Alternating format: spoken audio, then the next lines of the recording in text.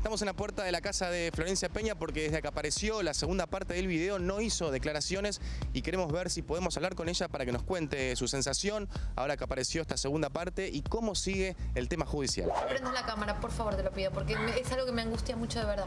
Sí, lo sé, lo sé. Por eso, por eso. No, no te quiero traicionar, o sea, te- estamos grabando por eso, pero Bánquenme, bánquenme. La semana que viene, cuando tenga novedades, novedades? judiciales, sí, claro que las va a haber. mientras tanto está tu abogada, ¿no? Trabajando en el Está mi tema. abogada.